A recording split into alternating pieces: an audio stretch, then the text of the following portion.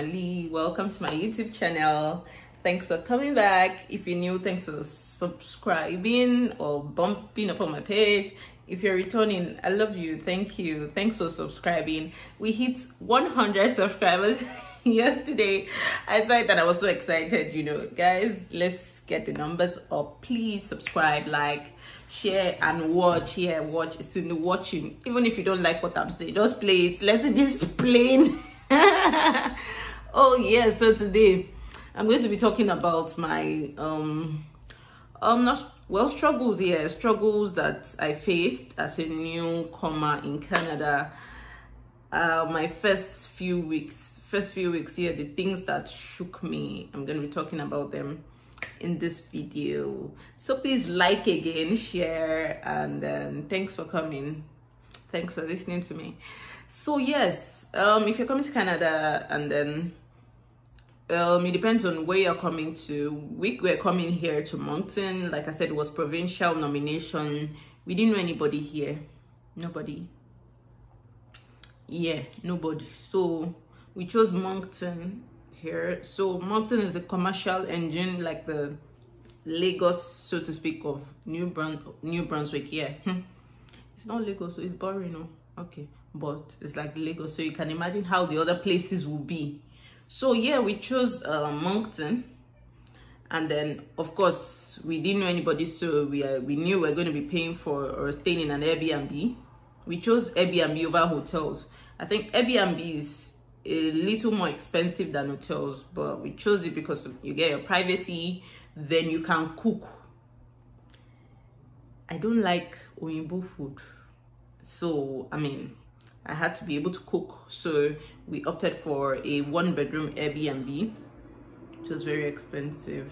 Uh, I think it was about, for seven nights, it was about $700 thereabouts. Yes, USD, not CAD this time around.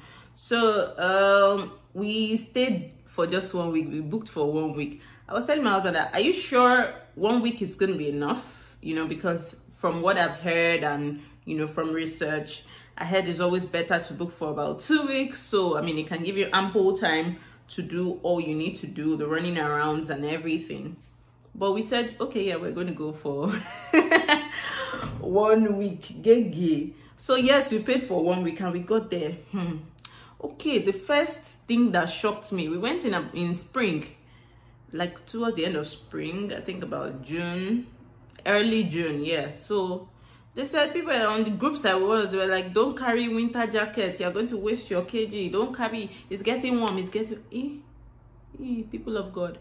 We got here. We landed about 3 a.m. in the night. The cold that slapped me. Yeah.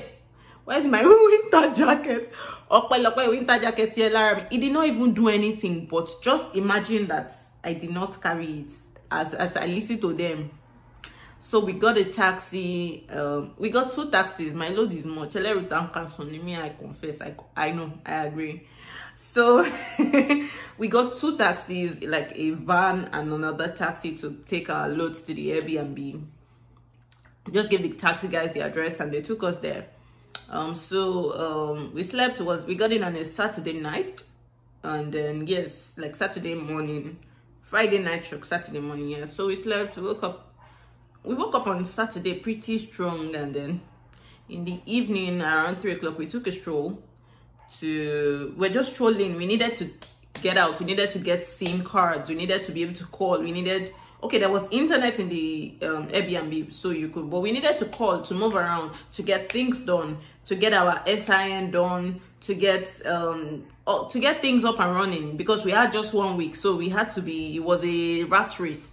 So i mean okay let's book taxi. You need a phone call. You need a num you need a number to call them. Ah, okay we just start strolling. Let's stroll now. We now saw a congolese guy very nice guy mr frank.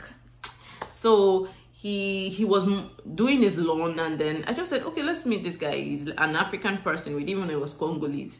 So we met him and he offered to take us to the store walmart to get our sim cards. Yeah so we got sim cards and we were able to call on Sunday we went to church. We met another lovely couple. who they helped in easing our you know stay and all that in easing our settling in so um on monday we went to service canada that's where you get your sin social insurance number done because that's i mean that's very par that's one of the most important things you need to do when you land in canada to get your social insurance number so you need to book an appointment but well we did not book an appointment. We went there directly on monday on monday morning yes. So when we got there hmm, there was this guy we queued we queued up. I mean the queue was not long. It was just about six people in our front. So we queued. And there was just this guy hell bent on pursuing people home. Like that was his job. His job was just to make us go back home and register and come back and book an appointment and come back on another we we're like don't worry. We are nigerians. We will wait is it not this small queue is it not this just seven people in our front? Ma worry i'm aduro so we waited waited waited and we got it done in under about two hours. Our sin was ready. So i mean yeah we did our sin on monday. On tuesday we went to service new brunswick. That's where you get your um, medicals done and your child benefits. Yes in canada they pay child benefits. As soon as you arrive as a permanent resident they start paying you money. Well not immediately but you know you have to do the processing and all and then even if it comes in late they pay you the backlog backlog of since the day you landed in canada. So we went to service new brunswick the next day and then um, we couldn't do it. A challenge was we didn't have a permanent address. They always need your your like um, utility bills to be sure that you are staying in that apartment. So we didn't have any we're still in the airbnb so we couldn't get all that done. We went back to the house. So we now began house hunting. Hmm, people of god it was it was tasking. It wasn't easy so they're um and here in canada they use um facebook marketplace a lot. So i was on facebook marketplace from morning till night. There was another um, website kijiji. So kijiji and facebook marketplace but i felt more comfortable with facebook marketplace. I, I mean i don't know why. So i mean i got a lot of agents booked a lot of appointments we went we're just wasting cab money oh. guys cab money is expensive. If i calculate all the amount we spent on taxi hmm, it reached to buy car. So here in canada they have in moncton especially they have just one bus system which is Codiac. And then it's just that bus system that operates the whole of moncton. How feasible is that? At times you have to wait for about 30 minutes before you get a bus to where you are going to. Ha if you come to canada be prepared to buy a car. It is a necessity it's not luxury especially like we came in summer or towards spring you need to get a car before winter because if winter starts and you don't have a car i don't know how you're going to do it. But it's a necessity. Even if it's one small kete kete that will just be carrying up and down you need it. A car is very necessary so i mean we were going to see all sorts of apartments. Hey i saw some like this. I'm like jesus christ this one looks like nigeria. Anyways we're seeing mostly basements. I saw beautiful basements and at um at some point i think it was already on wednesday and our airbnb was going to expire on friday. We had not gotten anywhere. We had not gotten any leads and all that. I was already breaking down. Now what's this? Do we have to pay another airbnb money or what's gonna okay fine even if we're gonna pay I, I now asked the lady that you know the owner of the airbnb and she's like oh from the day that we stop our airbnb another person has booked it. So what do we do if we don't get an apartment? We start packing our loads and looking for another airbnb or another hotel till we get an apartment. What's gonna happen? Hey so you know i just kept on and i was just praying that god please just let me see something. Let's see something. So i now saw an airbnb um, a basement. I was already tired. We had paid for it. Somebody now called me like from one of the groups. Was like okay what's what's going on? I told you to call me. You did not call me. I don't like disturbing people particularly. So he now said okay first advice he's going to give me is not to collect a basement because basements um um, gets really cold during the winter and then all your utilities are going to shoot up especially the hydro that's the heat. It's going to go up like you'll be paying a lot getting the place warm because a basement is like underneath the floor like you are inside the floor. So it's going to get really cold. And then it's all beautiful as you're seeing it in summer. You can see the windows but when it's um winter snows snow will block the whole windows and you don't get to see outside. So it could get depressing also. So i'd already paid for the basement and i had to call the agent. I'm like hello brad. Can is there something you can do for us? We don't want to take basement. And i was already scared. I thought it will not change. It will not thank god we had not signed the agreement. It was just about preparing it. That was thursday. I couldn't get hold of brad for the whole of thursday. Sorry so on Friday, I was able to get a hold of him. I'm like, okay, Brad, please, I don't want the basement again, although I paid. Can you look for something else for me, like a first floor or, you know, something that's not basement? And he says, okay, he has a three bedroom he's going to show me. I'm like, I don't need a three bedroom. I just family of three. I need a two bed. He's like, okay, let's see. So I'm like, okay, well, let's just go and see it. So we went and we saw it.